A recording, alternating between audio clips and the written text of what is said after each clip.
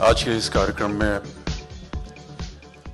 ग्राडो ने मुझे आमंत्रित किया, इसके लिए मैं तय दिल से उनको धन्यवाद देता हूँ। आज के इस कार्यक्रम में आने से पहले मैंने पूछा कि ये कार्यक्रम किस लिए आयोजित किया जा रहा है, क्या करना होगा मुझे। तो एक मुलाकात हुई और बहुत सारी चीज़ें हमको बताई गई। और जो आज का कार्यक्रम जिन्होंने ये प्रस्तुति की है विजक्राफ्ट जिनके साथ मेरा बहुत ही एक पारिवारिक संबंध रहा है बहुत सालों से, उन्होंने आकर के मुझे सब समझाया। जब ये प्रस्ताव आया था मेरे सामने कि ग्राडो के लिए मुझे ब्रांड एम्बेसडर बनाना चाह रहे हैं तो मेरे मन में केवल एक ही बात थी कि मैं जो इनके मालिक है उनसे पहले मिलना चाहूँगा। उनसे मिलने के बाद, मैंने देखा अग्रवाल साहब से मिलने के बाद कि उनके चेहरे में एक सच्चाई है।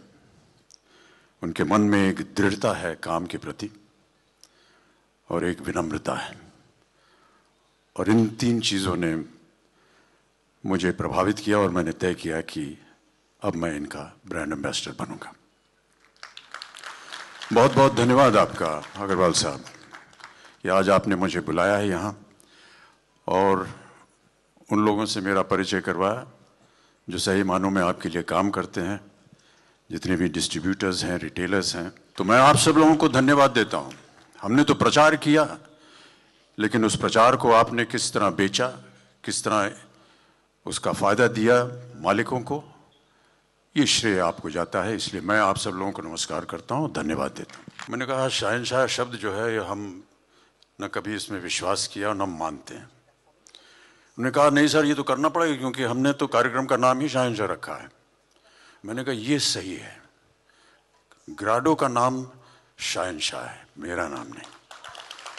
और इसलिए मैं ग्राडो को बहुत बहुत धन्यवाद देता हूँ। सही मानों में वही शाहनशाह हैं। हम लोग केवल एक कार्यकर्ता हैं उनके। यहाँ एक बार फिर मुझे आमंत्रित करने के लिए अनेक अनेक धन्यवाद।